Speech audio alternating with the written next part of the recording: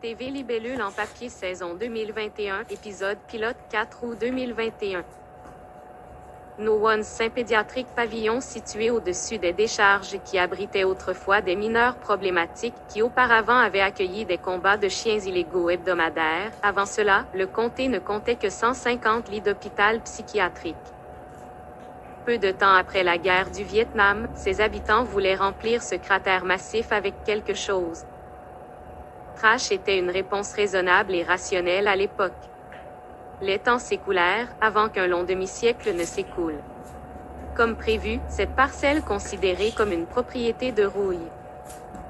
Pendant des années, le comté a dépensé beaucoup d'argent et une main-d'œuvre laborieuse sans fin pour combattre, pour repousser les apparences flétries, mais n'a atteint que des frustrations. Pendant des années, les politiciens ont promis de s'attaquer à ce problème en tant que points focaux centraux pendant les campagnes, mais une fois élu, aucun politicien n'a jamais revisité cette question. Les responsables du comté ont offert cette parcelle de fléau gratuitement en échange de la continuité des embellissements de la région. Aucun intéressé. L'année où le président Reagan a été réélu, des groupes d'investisseurs et des entreprises de construction se sont aventurés et ont construit des pavillons médicaux multifonctionnels pour enfants à plusieurs niveaux. Après de nombreux retards et revers, il a ouvert ses portes et les affaires dans les cliniques pédiatriques ont prospéré. Dans son centre le plus situé, se trouvent des cliniques de pédiatrie, de psychiatrie et de psychologie. Les cliniques structurées selon un modèle cyclique. Tida, une fillette de 8 ans au teint châtain clair, aux longs cheveux noirs, aux yeux marrons, au nez retroussé et aux traits du visage des plus attrayants, elle se tenait debout à près de quatre pieds. Son rendez-vous avec le docteur Maria Hernandez a été repoussé de 30 minutes. La réceptionniste a diverti l'un des jeunes patients de la clinique. Vendredi tard midi. À l'extérieur, les conditions météorologiques ont incité nos futurs élèves de 8e à quitter immédiatement l'intérieur. Soleil à 85 degrés accompagné des douces brises de zéphyr. Un ciel clair et ultra bleu avec de maigres nuages blancs et gonflés dispersés dans tout le cosmos avec un espace apparu plus haut que d'habitude. L'orphelin Dudley était assis à ma droite. Dudley, un Indien indigène et des Latinos avec de longs cheveux noirs entrelacés, des pommettes hautes, minces et debout à 5 pieds 3 pouces et vêtu d'un vieux tee, un short de bain et des tongs, a lu le catalogue de l'école. Pendant environ 15 minutes, il n'avait pas fait n'importe quel son. Il marmonnait périodiquement. Le baron Duke, un gamin blanc millionnaire avec les cheveux blonds les plus courts et les yeux les plus bleus, mince et se tenait debout à 5 pieds 4 pouces, s'assit à ma gauche et le lut aussi. Il n'avait pas beaucoup parlé non plus. Jamais de bonnes nouvelles quand les deux n'ont fait aucun commentaire.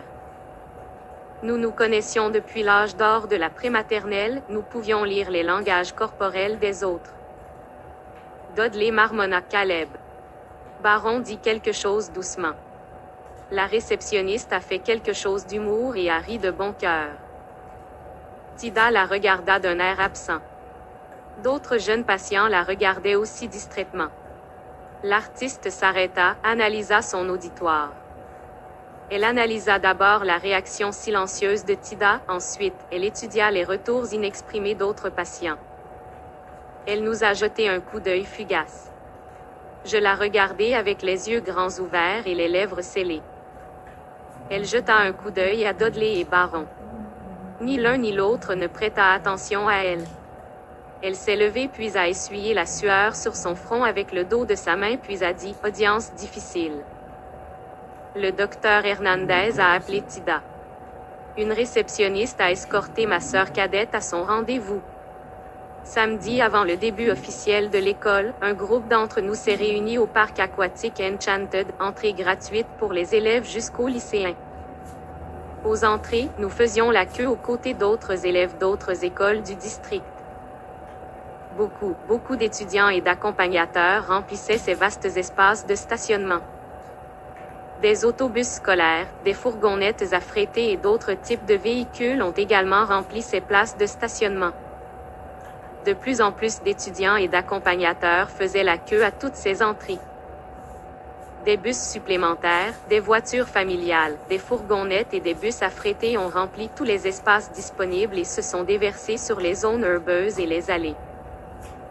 Beaucoup, beaucoup de vélos et de planches à roulettes regroupés dans quelques zones les plus proches des portes d'entrée. Baron chaperonné sur limousine et majordome. Dudley et moi sommes montés sur nos vélos.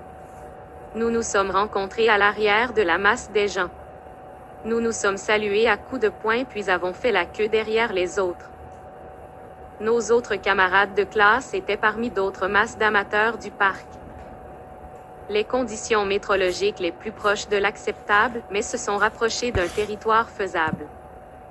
À 8 heures du matin, la température atteint 70 degrés avec un courant d'air modéré. Nuages matinaux dispersés dans l'atmosphère. Des brises soleil sont apparues dans l'hémisphère oriental. Là-bas, cette portion particulière était éclairée de couleur orange clair, il semblait qu'un feu de camp était érigé. Les mouvements et les bruits de bedlam des participants les plus animés venaient de toutes les directions. Les plus jeunes ont fait preuve de vitalité. Les plus âgés affichaient de la sérénité. Les chaperons ont démontré des capacités multitâches. Les employés de parc ont aidé et donné des conseils. Tout le monde de toutes les directions a contribué au pandémonium de mouvements et de bruit dans le parc aquatique enchanté. Mes parents ont emmené Tida et mon frère aîné Seth, un lycéen et ma sœur aînée Siakim, un étudiant en deuxième année pour voir nos grands-parents. J'ai choisi de ne pas y aller pour plusieurs raisons. Toutes les énigmes moralesques de mes grands-parents ont évolué autour de Tida et moi.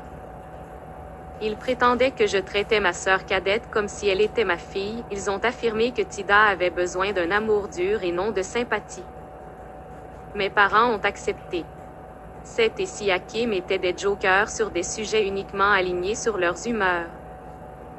Un jour, ils ont soutenu l'idéologie de nos grands-parents et un jour, ils n'auraient pas pu être plus en désaccord avec moi.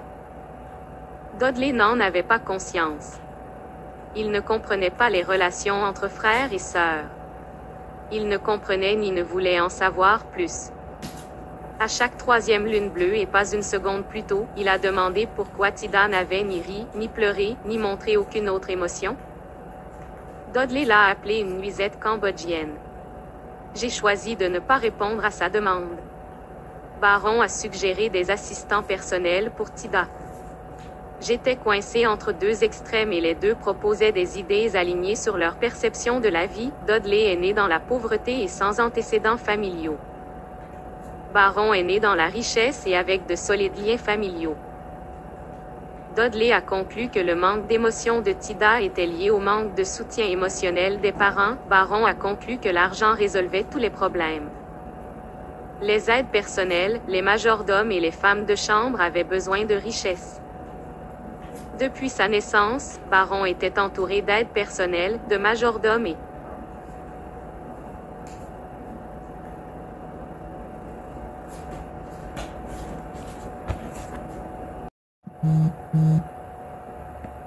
TV Libellule en papier saison 2021, épisode pilote 4 août 2021. No One Saint-Pédiatrique pavillon situé au-dessus des décharges qui abritait autrefois des mineurs problématiques qui auparavant avaient accueilli des combats de chiens illégaux hebdomadaires. Avant cela, le comté ne comptait que 150 lits d'hôpital psychiatrique. Peu de temps après la guerre du Vietnam, ses habitants voulaient remplir ce cratère massif avec quelque chose. Trash était une réponse raisonnable et rationnelle à l'époque. Les temps s'écoulèrent, avant qu'un long demi-siècle ne s'écoule. Comme prévu, cette parcelle considérée comme une propriété de rouille. Pendant des années, le comté a dépensé beaucoup d'argent et une main-d'œuvre laborieuse sans fin pour combattre, pour repousser les apparences flétries, mais n'a atteint que des frustrations. Pendant des années, les politiciens ont promis de s'attaquer à ce problème en tant que points focaux centraux pendant les campagnes, mais une fois élu, aucun politicien n'a jamais revisité cette question. Les responsables du comté ont offert cette parcelle de fléau gratuitement en échange de la continuité des embellissements de la région. Aucun intéressé. L'année où le président Reagan